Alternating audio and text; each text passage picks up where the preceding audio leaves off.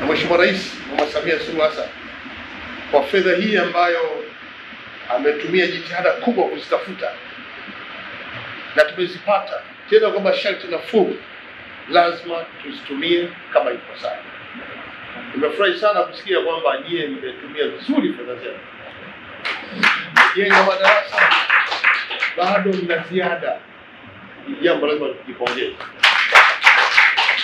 Maeneo mengine tumesikia fedha haitoshi, zimetumika vinginevyo. Nyie zimetosha na zimebaki.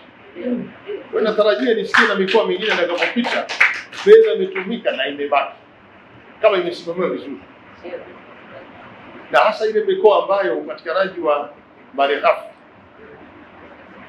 upatikanaji wa vifaa ni rahisi.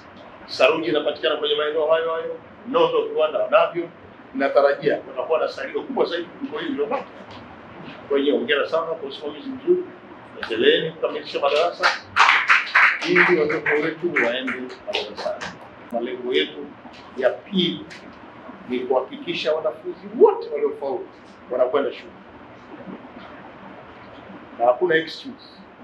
Tulishaambia Watanzania, mtoto yeyote wa Tanzania kwenda shule lazima, na ndio kwa sababu serikali yetu imesema shule za msingi na sekondari hakuna ada. Lengo ni kuwafanya watoto wa Tanzania bila kujali hali zao za umaskini ya kipato, wote waende shule. Naomba mrudie wakuu wa wilaya kuwaambia wananchi, watoto ni wao, kwenda shule ni lazima. Watoto ni wao, kwenda shule ni lazima. Kwa tunatarajia waliofaulu wote darasa saba kwenda kidato cha kwanza watakwenda shuleni pindi shule itakapofunguliwa tarehe kumi na saba na hii isimamiwe pia na usajili mpya.